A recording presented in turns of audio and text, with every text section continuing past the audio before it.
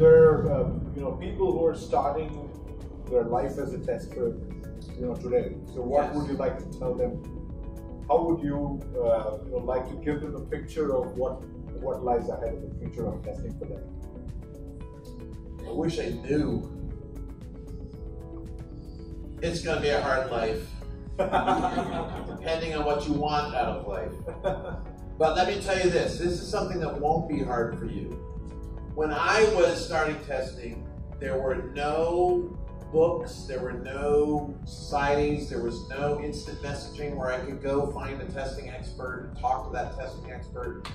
Now there's like the women's testers group, which some people like. There's Speakeasy, which mentors people to do speaking. I also mentor people to do speaking engagements.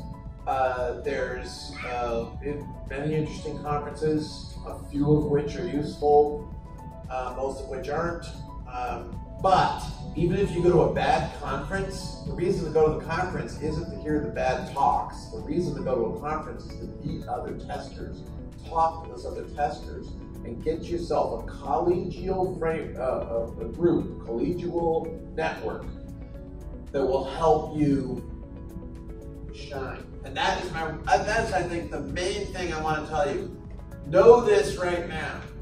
If you are all alone and you're trying to be a good tester, you will be outshone by people who have a network of friends, and colleagues, and mentors that they can draw upon to help them be their best.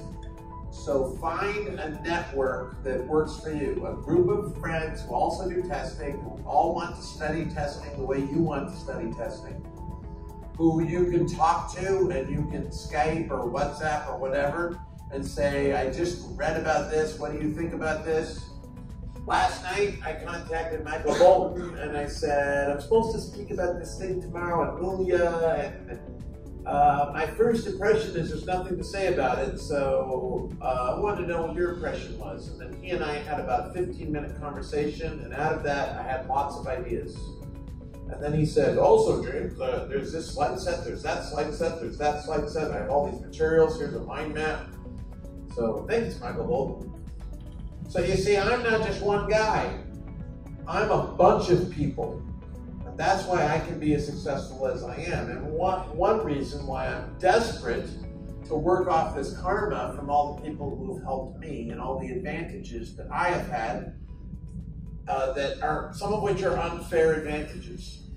Like, you know, I speak English as a native uh, United States citizen, so that gives me an advantage. It's not fair. It's just an accident of birth.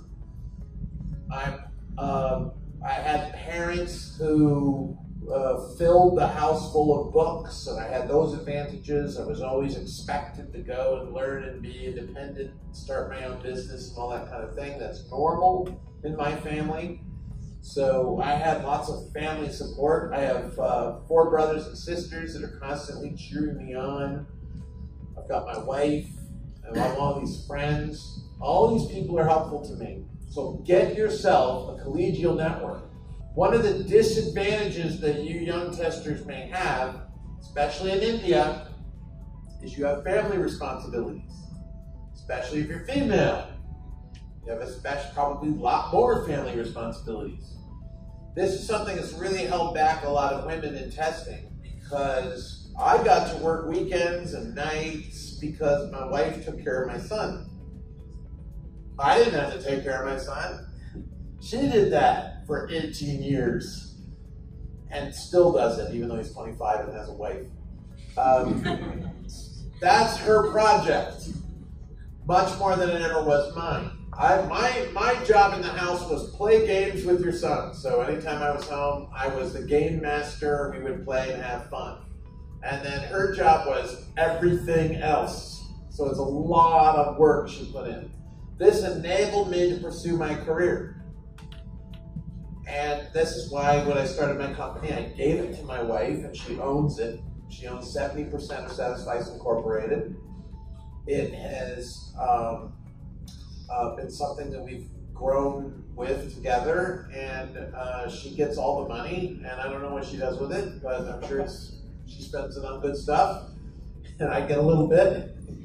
Um, and uh, but that's right because she makes possible what I do, and my colleagues make possible. So don't be too hard on yourself if you don't have time every day of the week to work late and study and study on weekends the way I did because I had tremendous ambition and I wanted to be famous in, in testing. But get yourself a network of helpers. Awesome.